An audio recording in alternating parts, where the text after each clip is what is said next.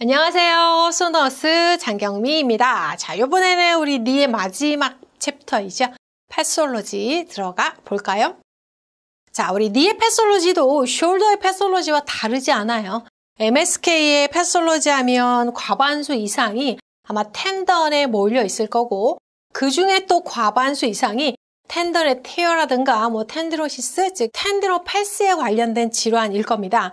나머지 한 과반수들이 여기 나와 있는 것들인데 자 우리 knee는 shoulder와 다르게 이제 ligament tear가 좀 있죠.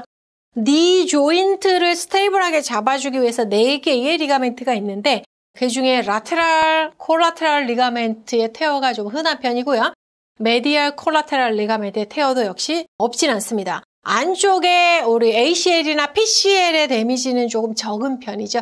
space 안에 있기 때문에 리에마 있는 구조물이죠. meniscus의 tear가 있다던가 아니면 Baker cyst, 우리 오금부, popliteal fossa의 medial 측에 있는 bursa의 fluid가 증가돼서 나타나는 것을 우리 웨이커 시스라고 하고요.